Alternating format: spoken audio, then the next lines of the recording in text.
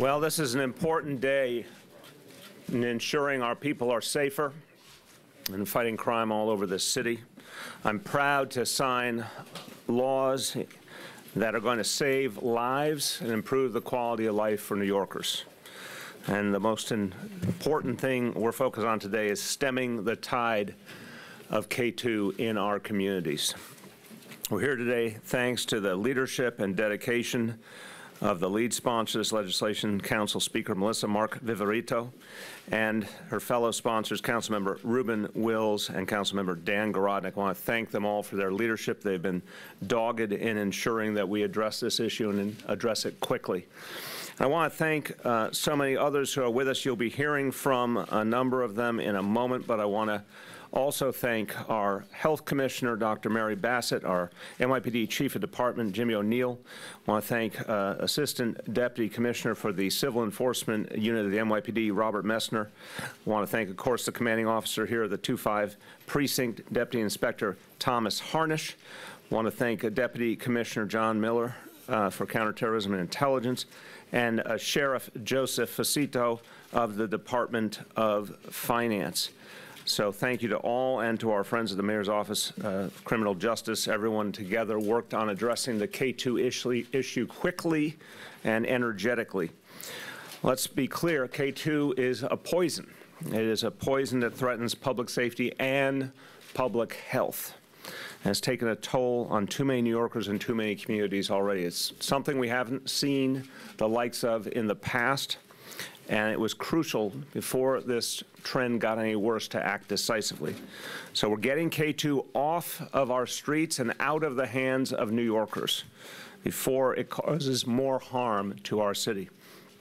East Harlem has sadly seen the worst of this situation. The 2-5 precinct covers East 125th Street, which has really been hit hard by the plague of K2. And the officers in this precinct have been on the front line of this battle, and they've done an extraordinary job fighting this new menace. We've also had tremendous support from local residents who wanted to be part of the solution and worked hand in hand with the NYPD to turn the tide. Too many families watched as uh, victims were afflicted by this drug and they saw the horrible impact it was making in their lives. They saw the ambulances coming to pick people up. And obviously, the residents realized quickly this was something new and dangerous, and it needed a vigorous response. So we've had a great partnership with community residents in addressing this issue. We're involved already in aggressive and targeted enforcement. Since July, the city has conducted five multi-agency inspection operations, seizing over 10,000 packages of K2 from sellers. And we've used our nuisance abatement laws against seven stores. So we've used the tools that we had. And on top of that, tremendous operation last month, NYPD uh, intelligence unit working directly with the DEA to dismantle a citywide distribution ring. They seized $17.5 million worth of K2 and uh, the ingredients and the paraphernalia used uh, related to K2. And it led to indictment of 10 individuals. So there's been a very vigorous set of actions taken, but we knew we needed stronger laws to do more. So today we take the next step. These laws do not punish the individuals that are held hostage and held in the grip of this toxic drug. We understand that some of the people who use this drug are amongst the most vulnerable in our city and often include those who are dealing with mental health issues already. So the law doesn't focus on uh, attacking the victim. It focuses on criminalizing the process that brings this poison into people's hands. In the 60 days when this law takes effect, if you manufacture K2, if you possess K2 with the intent to sell it, or if you sell K2, you are now going to come up against the greatest police force in the world that's now going to be empowered by these new laws to act more aggressively. Selling K2 will be a misdemeanor punishable by up to one year in prison and a possible fine of $5,000 as well as civil penalties of up to $50,000. And laws further make the sale a cause to suspend or revoke a business's license to sell cigarettes. So this law will give us an additional power to go at the economic core of a lot of businesses if they in fact engage in this heinous action. It threatens the ability of many of these stores to stay open. If they engage in selling K2, we will go at their livelihood and we will shut them down. Finally, the legislation allows sealing and closing orders to be issued against stores that repeatedly sell K2. So very aggressive measures to deal with the economic realities behind K2. These laws together send a clear message to anyone who sells this poison. We will find you and we will stop you. And our message to anyone who uses the drug and needs help is we are here to help you. Help is available, treatment is available, so people can get out of the clutches of this awful drug. It's an important day today, but we know it is a beginning. There'll be a lot of work to implement these laws and a lot of our ongoing efforts to educate New Yorkers about the risks and to get people who need treatment to the treatment they deserve. We're doing this because it's the right thing to do, and we're also doing it out of our deep respect for community residents who have had to deal with this scourge in their neighborhoods. One of them I want to mention, Ephraim Boone, who's here today. Ephraim, where are you? Stand up for a moment so everyone can see you. I want to thank Ephraim, who's been a great community activist.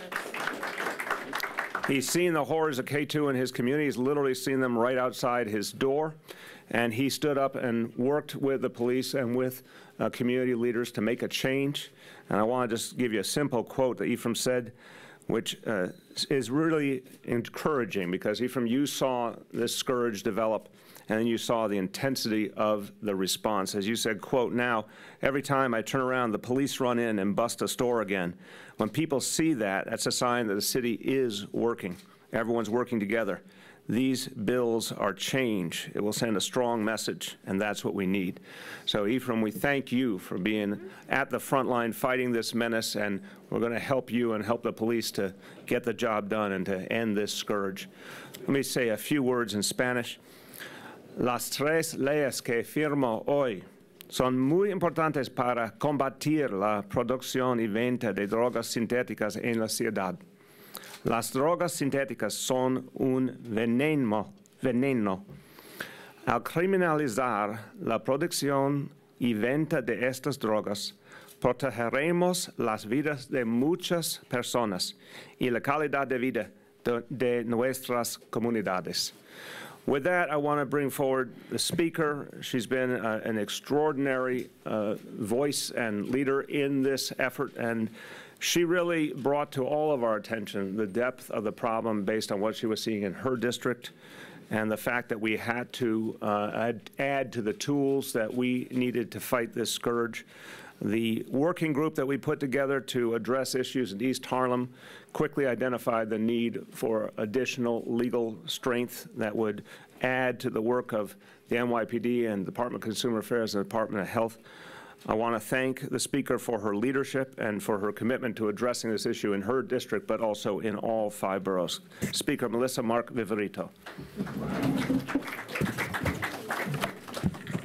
Well, buenas tardes, good afternoon to everyone, and in particular, thank you so much, Mr. Mayor, for holding this press conference here. Uh, You've mentioned a lot of those that are representing. I know there's a lot of community leaders here. I see representatives from our co- local community board, Community Board 11.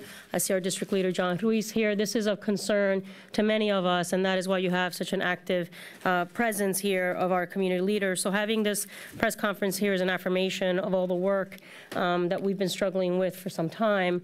And personally, you have been literally hands-on when we brought this concern about what was happening on 125th Street to you.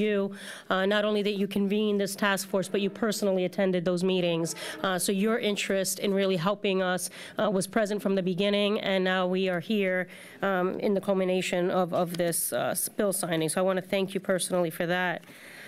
So today, we're taking uh, another step in moving, improving the quality of life in neighborhoods all across New York City by enacting strong laws to combat the spread of K2. While K2 is sold as a synthetic alternative to marijuana, we've seen time and again that it is in fact a very dangerous and unpredictable drug. It is a poison. Those in search of a cheap and legal substitute to marijuana are led to believe that the drug has similar effects, but the effects of K2 can be life-threatening. The City Council has led the charge to get K2 off the shelves and away from our most vulnerable citizens. As the council member representing El Barrio East Harlem, this has been an issue of great personal importance to me, with 125th Street and Lexington Avenue being the epicenter of this problem. I also want to thank the leadership of my colleagues, Councilmember Wills, who has been dealing with this issue for a couple of years, and uh, also Councilmember Garodnick, and we're here with Councilmember Vanessa Gibson as well. Today, we're taking a very real step with these laws, but the success of our efforts is rooted in a collaborative process between the council, the administration, the NYPD, and other city agencies. That's why even before today's new laws take effect, we've been taking steps to get K2 out of this very neighborhood with the help of Commanding Officer uh, Deputy Inspector Tom Harnisch and the 125th Street Task Force, which my office convened in response to a host of quality of life issues along that corridor, including the use of K2. Some additional members of that task force are here today, and the mayor just uh, introduced him, including Ephraim Boone and J.J. Williams, who live right in the 125th Street area and dealt with the effects of K2 every single day. They were strong advocates for their neighborhood and great partners as we developed the strategies we've employed to combat this drug.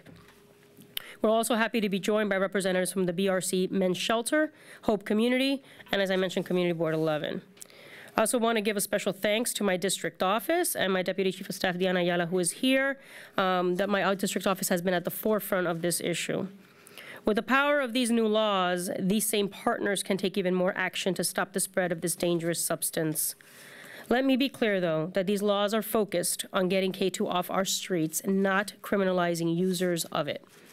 To that end, these laws will deal with the stores that distribute and sell K2, not stigmatize or punish the vulnerable populations that are stat- statistically likely to try the drug. These are smart laws that were created while considering and learning from the realities we've observed about drug policy in our city. And these laws are going to be effective in protecting New Yorkers from one of the more dangerous substances that has unfortunately found its way onto our streets. So again, I want to thank all my colleagues in the council. I want to thank Mayor de Blasio, Commissioner Bratton, Commissioner Menin, uh, and all the city agencies who have worked with us to address this issue, Commissioner Bassett as well. Um, and I'll say a few words in Spanish.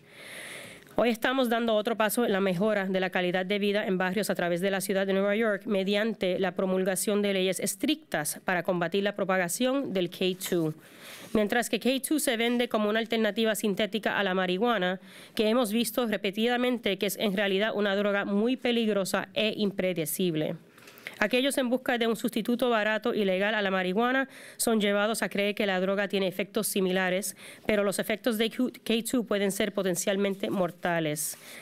Como miembro del consejo que representa el barrio, este ha sido un tema de gran importancia personal y por eso estamos aquí, para que el alcalde firme estos tres proyectos de ley. Estas leyes se enfocan en eliminar K2 de nuestras calles y no en criminalizar a los usuarios, y eso es bien importante recalcar. Me gustaría agradecer a mis colegas en el Consejo Municipal, al alcalde de Blasio, al comisionado Bratton, al comisionado, la comisionada Menen y a todas las agencias que están aquí eh, eh, presentes hoy. Muchas gracias. Thank you so much. Thank you, Speaker. Now it's my honor to bring forward our police commissioner. Uh, as I said, we have a a constant dialogue going on at City Hall on how we can adjust to any changes we see, and the discussions in the East Harlem Task Force led to discussions that uh, Commissioner Bratton and I have every week, and we immediately determined the need for stronger laws. We had uh, tremendous leadership in the City Council to get it done, so this is absolutely a, a group effort and a speedy group effort. I want to thank you, Commissioner, for your leadership. Commissioner Bill Bratton. Thank you, Mr. Mayor. Thank you. Echoing the mayor's comment about speed, uh, been in the business a long time, 45 years this year, and this is one of the few times where I've actually seen government come together so quickly around an identified issue. All levels of government, at the federal level, here at the city. And when this issue first began surfacing, the prevalence of hospital admissions from this new type of drug that we knew very little about, that the speaker was certainly seeing it more prevalent in her district than just about any place else in the city. federal government was starting to see it around other areas of the country, including uh, Washington, D.C., Miami, that there was a quick coalescing about what can we do, what tools do we have to deal with it. At the federal level, they had significant tools through the DEA, and we immediately engaged with them, with the uh, Southern District, to work with them on the larger case that the mayor mentioned that you covered earlier this summer, where we recovered over two and a half million packets of this. We were able to break up the uh, distribution network, and we were also able to uh, seize the properties where they were creating these uh, packages here in New York. At the same time and simultaneously, the city was moving together in a very collaborative way, health and hospitals, the various commissioners who were here, working with the neighborhood groups and the creation of the task force that the mayor mentioned to identify what could we do better at the city government level, even as the feds were assisting us at their level. From that came the series of laws, and I want to applaud the council for the quick both creation of the laws but passage, because they will give us, the police, additional tools to work with, tools to deal with particularly the sale of this uh, uh, particular drug, and a drug that uh, has extraordinary, extraordinarily harmful capabilities. One of the dangers of K2 is different people react very differently to it. And part of the issue of K2 is no two packets are exactly alike in terms of the content, because the way it is prepared, the way it is created, the way they're constantly changing the formula, you never quite know what dose you're getting or what dose of what particular package of chemicals. And we have seen extraordinary issues over the summer uh, of how people react to this, and usually in a very negative way. We have also created, uh, up in the area most significantly affected by this, in that 125th Street Lexington corridor, a task force that's reporting out of this precinct, 30 somewhat officers, a lieutenant, five sergeants, 30 officers, 24-hour day coverage specifically in that area to address not only the K2 problem, but the many other related areas of uh, concern in that area. Additionally, in the subway stations in that location, we have additional patrols. So what you are, uh, being, what's being reported on today is the results of the collaborative effort, federal, local. But the good news is that we've been very successful, I think, in stopping what could have been a tidal wave. But we're not stopping there. We are effectively adding to our ability to build up our bulwark against it basically coming back at us again. So the laws we get to work with, the additional resources the inspector at this uh, precinct has to work with, as well as some of the additional attention in the several other precincts that are experiencing this problem. We have the ability to really uh, collaboratively as a government really stop what was shaping up to be an incredible health hazard. Good news is since the month of June and July, when the highest number of admissions from overdoses began to be experienced by the hospitals, uh, those admissions are down about 21 percent. Also, the most recent raids that we've conducted, we're finding minimal amounts of this uh, drug in those bodegas. I think the ones we conducted last week, they found six or seven packets in one location, location versus the hundreds and thousands we were finding back in June and July. So great progress, great progress with community involvement, community leadership, great progress with the leadership at the local uh, uh, political level, great progress at the city level uh, with the mayor, and great progress with our colleagues at the federal government. Government uh, uh, working at its best collaboratively, and uh, I think we being quite frank, I think we really averted a major public health crisis. It was bad enough what we're experiencing, but it could have been a lot worse. Thank you. Thank you very much, Commissioner. In addition to NYPD, we've had great leadership from other city agencies, and Department of Consumer Affairs has used all of its regulatory power to send a very clear message to store owners that the sale of K2 will not be tolerated. And again, we're going to use a lot of the tools at our disposal, plus the new tools that these laws will give us, to make sure there are very, very serious economic consequences for any store owner that breaks the law and endangers people through the sale of this drug. We're also going to have a strong public education campaign uh, to make sure that the store owners understand the consequences here, both the human consequences and uh, the ramifications of being involved with this drug. Leading that effort is our Commissioner for the Department of Consumer Affairs, Julie Menin. Thank you so much, Mr. Mayor, and I really want to thank the mayor and their speaker for their aggressive and very strong leadership on this issue that has really given the various city agencies you see here today additional powers. DCA is proud to have played a key role in the city's multi-agency response to combat K2. The drug, as you heard the mayor and speaker talk about, have been plaguing so many neighborhoods across New York City and has been sold in bodegas and other stores which DCA licenses. Specifically, we license over 9,000 uh, such establishments across the city. And what these um, new laws do in terms of DCA's jurisdiction is the new law imposes a mandatory suspension of a cigarette retail dealer's license for 30 days for the first violation and mandatory revocation for the second violation. This really has very key economic consequences because for so many establishments, they derive the majority of their revenue from the sale of cigarettes. We've also joined the multi-agency response. As the mayor has said, we've seized, along with NYPD and the sheriff's office, over 10,000 packets of K2. We've issued violations for violations of the state's agricultural and market laws, and we've also issued violations um, for the city's consumer protection law for claims that the product is potpourri, incense, the use of cartoon characters, all of which are patently false claims. Lastly, I just want to mention, as the mayor said, we are working very closely with the health department to uh, disseminate a public awareness campaign. It's multimedia. You'll see it over the course of the next couple weeks. It's aimed at three populations, users, potential users, and retailers. And lastly, we are going to be holding a conference along with Health and MOCJ, a citywide summit on K2 on November 16th at Brooklyn Law School. So once again, I really want to thank the council and the mayor for giving us these enhanced tools that will help us to continue our efforts to crack down on K2. Thank you. Thank you very much. Thank you. Now I'd like to hear from two of our colleagues from the City Council who are co-sponsored this legislation and played an important role in getting it passed. Councilmember Ruben Wills.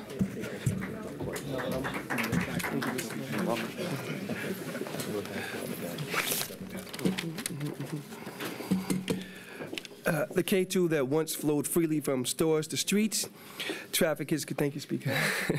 traffickers could market their products to children by using catchy names and glossy packaging to captivate them. Manufacturers could successfully sidestep our state's laws by constantly churning out chemical compounds that couldn't be cataloged quickly enough, and our city's law enforcement and civilian agencies lacked the power to effectively deter the sale of these hazardous substances. With the signing of these bills, we will begin to choke off the K2 pipeline by imposing severe penalties on the operators of known synthetic marijuana distribution centers. Our thoughtful yet forceful response to this public health crisis is carefully designed not to burden individual users. I want to thank the leadership of the mayor, uh, Speaker Melissa Mark Viverito, Council members uh, Corey Johnson, Vanessa Gibson, and Daniel Garodnick. And I do also want to take a quick 30 seconds to thank my staff um, who were with us. Um, throughout this. Uh, my Chief of Staff, Leslie Ann Patterson, India Sneed, my former uh, Director of uh, Legis uh, Legislative Affairs, my current Director, Brandon Clark, and my Director of Community Liaisons, uh, Jahai Rose. Thank you very much, uh, Madam Speaker. Thank Thank, you, you for the commissioners. Thank you.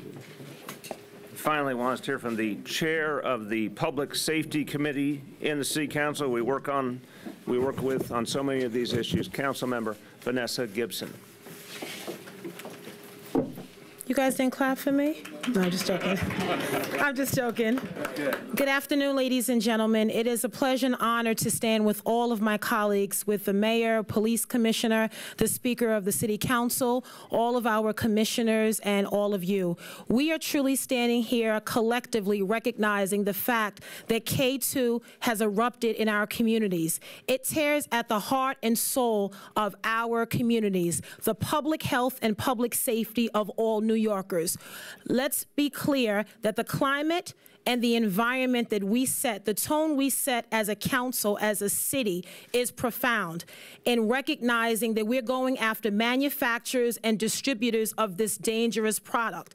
The fact that it has an attractive wrapper, it's inexpensive, it's called K2, AK-47, synthetic cannabinoids, Scooby snacks, and the like. The fact that it is all too common in our local grocery stores and bodegas is unacceptable. We are being extremely aggressive in our approach in not victimizing users, potential users, but recognizing that we must stop this in its tracks. Today's legislation and signing of this legislation is our commitment as public servants that we are recognizing that we must treat this as a public health and public safety crisis. We are embarking on a public service campaign where we are educating New Yorkers on the dangers of K2. The fact that there have been thousands of hospitalizations across our city of individuals who are using this. The fact that we know that there are underlying causes and roots of drug users using drugs in the first place. And so we will deal with that as we continue to work. But we must recognize that the few bad apples will not make it bad for the entire communities in which we live in, work, and raise our children. And so I am thankful as the chair of public safety to stand here with all of my colleagues showing my commitment, making sure that these bills become law. We are declaring it a public nuisance. We're going to go after those that have a cigarette retail license. If you want to do business in this city and you want to work with us and be a part of the solution and not the problem, then we need you to stop selling K2 to our residents in this city. So I am thankful to be here. This is a collective process. The journey does not stop today. We have a lot of work we will continue to do. And thank you to the leadership of Mayor Bill de Blasio, of all of our commissioners, Dr. Bassett, Commissioner Menin, Police Commissioner Bratton. Thank you to the Speaker of the City Council, Melissa Mark Viverito. Not only recognizing this right here in her community, but recognizing that we must be aggressive in our approach. Thank you to my colleagues, Council Members Corey Johnson, Dan Garodnick, Ruben Wills, Ralph Espinal, who chairs Consumer Affairs. We come together with common common priorities and common principles and values that we are going to protect the public health and the public safety of every New Yorker. So thank you all for being here. East Harlem, thank you for standing up when many sit down. Continue to stand up, continue to fight for our community's safety and well-being. Thank you very much. Okay, we're going to take questions on uh, the legislation and and on fighting K2, and then on other police matters, then we'll take off-topic questions. Yes? Mr. Mayor, a few minutes before you started this press conference, uh, Governor Cuomo set up, uh, announced a PSA campaign focusing on this specifically and also uh, prescription drug abuse. Is it the announcement also coordinated with your office? I think it's, I I just heard about it now, I think it's a great initiative, so it wasn't coordinated as far as I know, but I think it's certainly kindred and welcome. Is, is it a problem that it wasn't? Like, Again, I think it contributes, it contributes to the same goal, so I think it's good. What else? Deputy Commissioner Miller, a question. Indeed. Here. Calling me short? Yes, I am. Okay. Yes, Mary. Commissioner, we've been reporting on this for several months, and there were concerns raised last year, raids around the country with the money, where it was going, millions that were being wired overseas. Uh, Last week, the DEA did raids and in mail facilities and acknowledged that the money was often going to countries of concern in the Middle East. Are you concerned the K2 sales and the other synthetic cannabinoid sales are financing terrorism? Yes, we're concerned with the question, but we don't know the answer. Uh, One of the origins of this case within the Intelligence Bureau uh, of the NYPD stemmed from uh, the idea that that hundreds of millions of dollars associated with K2 was traveling out of the United States um, to a number of countries, but largely uh, among them Yemen. And when you look at the situation in Yemen between the Houthi rebels, uh, Al-Qaeda of the Arabian Peninsula, um, and other factors there, you would have to ask, uh, where's the money going and what's it going to finance? And that is not part of the narcotics conspiracy case that was brought here in the Southern District of New York, but it is one of the intelligence gaps surrounding this issue. Okay, any, first again, K2 questions first, then we'll do other policing questions, then we'll sign the bill, then we'll come back and do off-topic. So people could be arrested or uh, stores, bodega owners that are selling it if but how much do they need to have for you to consider they are selling it? We know with marijuana, it's the 25 grams or less. If you have that, you're not considered to be selling it. Somebody has, what, five packets, 20 packets, 500 packets? What's, Okay, Who wants to speak to the specifics of the, the standard? Who's got it? Rob Messner. Rob, come on up.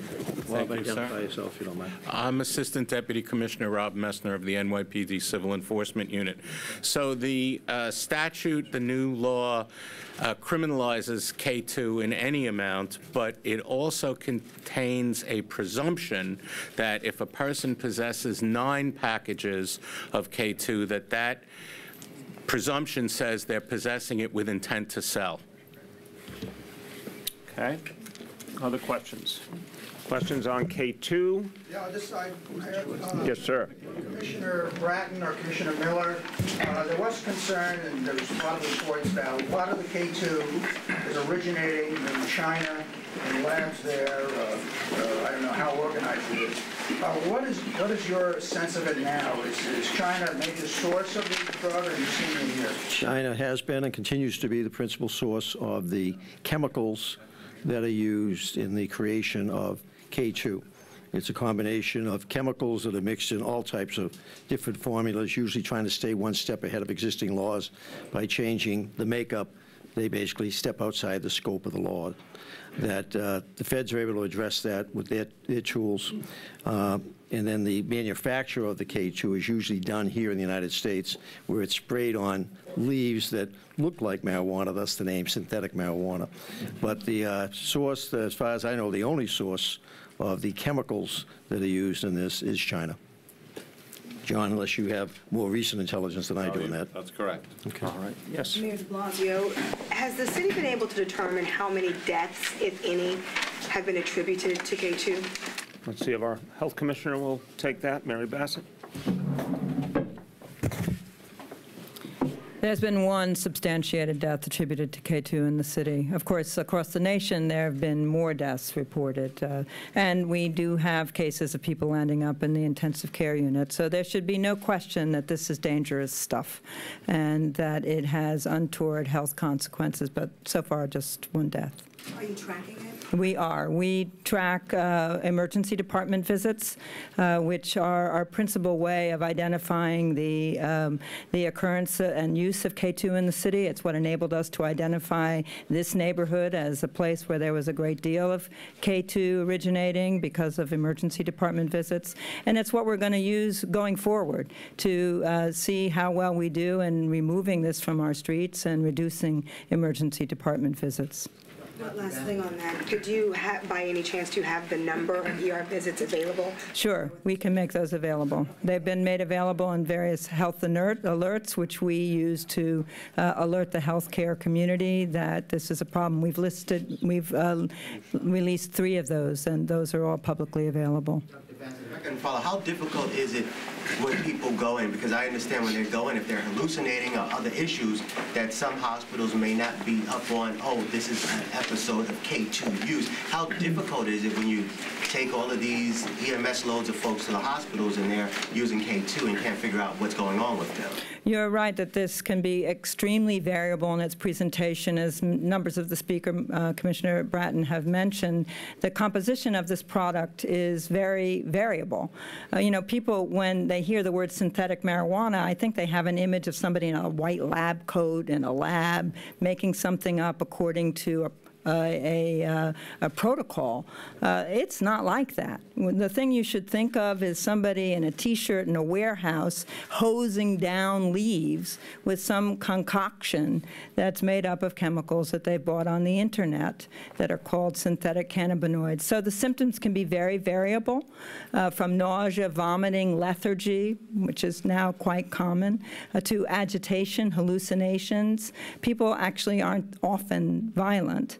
Uh, and that's why we alert health care providers with our health alerts uh, that we send out to 25,000 email addresses so that they'll think of this when people come into the hospital and ask the question. There's no specific antidote. We have to treat people symptomatically, uh, but we do want the healthcare provider community to be aware of it so that they identify it and they report it to us and they treat the patient. Want to add? Um, Deputy Commissioner Miller? Just um, one other thing that we've been tracking is, um, in a snapshot that was taken 10 days after the K2 takedown uh, that involved Rob Messner's people and the nuisance abatement, the seizure of, of all the material in the federal case, uh, we saw a 28% decline in K2-related emergency room visits. So what we are hoping is, armed with this law and the ability to continue enforcement on the retail level of the sales network, that we can continue that decline. There is a, a separate answer to your question, which is there are deaths that may be categorized by the medical examiner as resulting from K2, but we're seeing other deaths that will be categorized as other things. In late July, I was on the Hudson River at Pier 46 when a man smoked K2, jumped in the river, and, and drowned. He was recovered a short time later. The cause of death there will be drowning, but K2 is a, a significant contributing factor. This weekend, just up the street, we had a woman found dead. We interviewed the man who was with her. He said they spent the night drinking and smoking K2. Uh, we're waiting on the cause of death there, but you're going to have to understand that will be a contributing factor. So the numbers may be deceiving about the level of seriousness of the problem. Okay, on this topic, yes? Um, With some of the youth, they think they're smoking marijuana, but they seem to have K2 symptoms. To what extent is this being sprayed on marijuana to give it an extra kick to to that extent? Is that, Mary, do you want to speak to I that? actually don't know the Or answer to PD? that question. Uh, you- You're, uh, you're asking whether we're, there's sort of boosted marijuana out there, and I'm, I'm, I don't know. Uh, I don't think any of us back here have seen it. Uh, The, the problem with K2 is that it's cheap, it's been too available, and uh, it, uh, that's why the, the main public health approach to it is to, is to reduce the availability, get it off the streets. And we know we can do that because we have been doing it. We've seen these declines citywide. Um, But I don't know about boosting marijuana. Okay, other questions on this? Rich? Mr. Mayor, uh, for you, or maybe the police commissioner, how would you characterize those who continue to sell this product now that the uh, outcomes, uh, the the detrimental effects are are well known? Yeah, I, look, it's absolutely unacceptable. It's immoral. Uh, anyone who sells this product is endangering other people's lives, and they're acting in a criminal manner, and we're going to get them. It's as simple as that. And uh, you know, it's not it's not something people can explain away. There's plenty of information now out there about how dangerous this is. And so uh, any business that does this, we're going to go at them using criminal charges, but we're also going to go at them economically. Mayor, what kind of effect do you think K2 is having on the city's homeless population? Again, the information is limited because this is a new trend, but we have seen in this area, in East Harlem, a real negative impact on the homeless, and it's cheap and too available. Uh, and uh, too many people who had other kinds of problems, started uh, reaching out to K2 and only made their lives much, much worse. And so, you know, we want to get this at the root. We want to get it early, as Commissioner Bratton said, before the situation got out of control. But the goal, as with everything we are doing in terms of homeless folks, is to try and figure out what will get them on the right path. So if these are folks who already are susceptible to uh, drug habit, we want to get them the treatment to get them away from that kind of problem. Question, the state ban isn't as strong as the city. Are you hopeful that the state will follow the city's lead? Well, absolutely. We want the strongest tools available to law enforcement, so you know, we think what we have here is going to help us immensely, but the more the better. Yeah. Um, A couple times today it's been mentioned that 125th and Lex was the epicenter for this K2 epidemic. The folks who live and work in that area, I'm sure they want to know what made their neighborhood such a hotbed for K2. You know, I don't think we, again, this is a new phenomenon. I don't think we have all the analysis here. I think what we know, and thanks again largely to the leadership of Speaker Mark Viverito, is we identified the problem and then put a series of actions into place very quickly to address it. And now these laws will give us many more tools. So uh, the bottom line is when we find a new issue or a new problem, it's our job to act quickly, and I think this will turn the tide. Yeah. I understand the fines against the businesses selling the K2, but what I found out of the story that the Daily News did was that a lot of people were buying it from their peers on the street out of plastic bags, just handing them what they call sticks. Um, and since the bust in the Bronx, the price it doubled on the street. And what would you do against, uh, regarding the people on the street selling the K2? Let's let our, who'd like to jump in? Uh, Rob? Yeah, Up there again. Uh, Well, this new law does criminalize sale of K2 in any venue. It doesn't have to just be in a store. So someone who was selling K2 on the street would also be in violation of this law and would therefore be arrested and prosecuted. Simple and straightforward. Yes. I know that you're not targeting the people who use K2, but obviously if there was no demand, people wouldn't be selling it. Is there going to be an effort to convince people, some of them homeless, not to use K2? Absolutely, in terms of both public education campaigns in general that will reach everyone, but also the outreach work the Department of Homeless Services does is explicitly to tell people about things that might be dangerous to their health and to encourage them to get the help they need, for example, drug treatment or mental health services. So uh, it's very much a part of what we do is to try and get people away from negative influences into a better path. Okay, any other police-oriented questions? Go ahead. You mentioned that you had a lot of uh, help from the community in this effort. Um, I was wondering if there was a lot of contact too with the bodega owners and how would you qualify the relationship with them?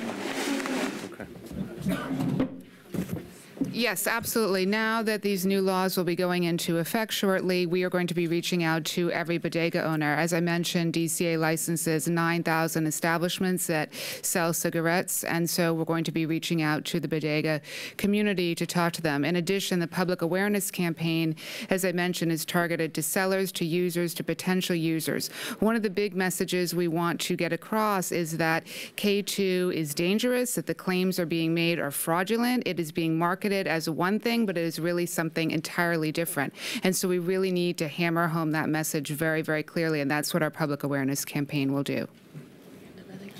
Okay. Please, Michael. Uh, I have a question for Commissioner Bratton. Um, uh, You're part of a national group of leading police officials and prosecutors who are preparing to say that the rate of mass incarceration in the country has, uh, is now unsustainable, and um, you're hoping to seek reforms to address that.